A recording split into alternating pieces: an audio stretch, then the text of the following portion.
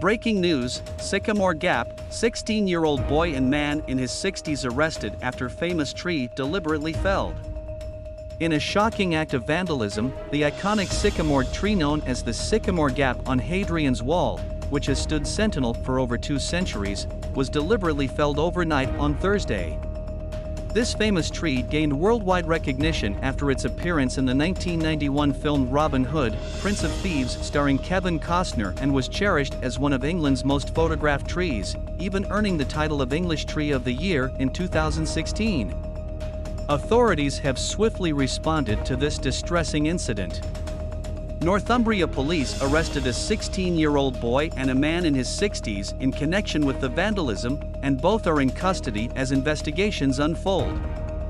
Andrew Poad, Northeast General Manager at the National Trust, expressed deep shock and sadness over the loss.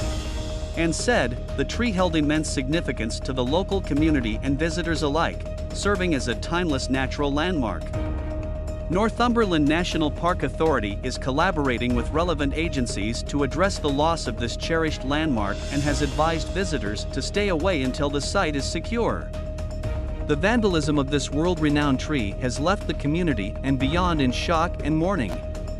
Authorities remain committed to swiftly identifying and bringing those responsible to justice as they investigate this distressing incident. Thanks for watching.